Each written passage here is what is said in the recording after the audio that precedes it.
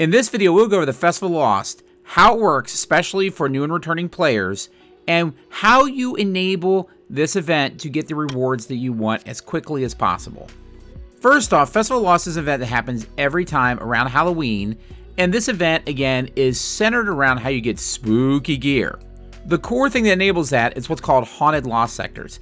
These are in a playlist which you play with other players. You kill, obviously, as many enemies possible, including mini bosses called Headless ones. These come up on a constant rotation. For your fire team, you're going to bounce from one to the other, continue to kill them because you want to kill as many as possible. You can kill at least 10 fairly easily, and if you can do it within the allotted time, you can actually kill more. When you're done with this, you will get loot to drop, but there's other reasons that you want to kill as many as possible. To get the title and certain rewards within the event, you're going to need to get as many spectral pages as possible. When you have these spectral pages, if you kill, let's say you have 10 of them, if you kill 10 headless ones within an event, within one of these lost sectors, you'll actually get this turned over into manifest pages, which you can then turn in to open up the lore book, which then will enable you to get certain achievements to get certain cosmetic rewards within the event. Besides just getting new rolls as you go through the Haunted Lost sectors, one of the things they've added this season is they've added the uh, ability to actually go into Legend Lost sectors. Now, the difference between the normal and the Legend is the Legend obviously will be more difficult, but it'll give you a greater chance of getting new exotic-like engrams that will actually allow you to get exotics that you don't have yet. So just like uh, Bungie opened up the ability to do this with the event that's on Neptune, now you have an additional way to do this. This is a focusing, just like you have focusing at other vendors. So if you're in a normal lost sector or haunted lost sector, you have the ability to get this.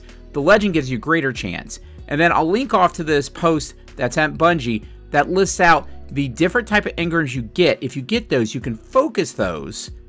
And when you focus those, you have a chance for getting certain exotics. Again, it does require you to have the DLC in question to get those exotics.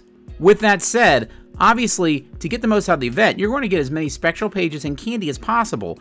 So, to get these, I would say probably the easiest way to do this is to do public events.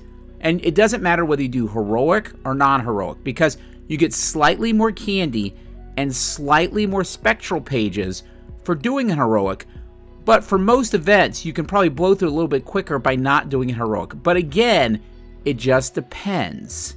Some heroic events are actually shorter than not doing them non-heroic. So if you're not clear on how to do heroic public events or doing regular, I have a video I'll put in the description here that'll tell you how to do every public event that's located within Destiny.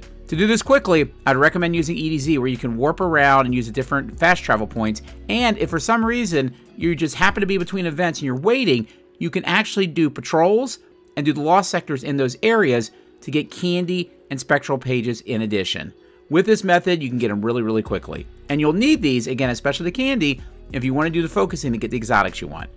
Again, really quick video, guys, but I wanted to show you how the event worked, what kind of currency you need, how to get it the quickest, and again, why you should care especially now that we've added the ability to get exotics and to be able to focus them, to me, that makes it a no-brainer. Go in, get your spooky candy, get all the rewards you want, and again, it's time-limited thing, so do it now. And that's the video. If you like the video, feel free to like it, subscribe my channel, join my Discord, and I'll see you Guardians in the Tower.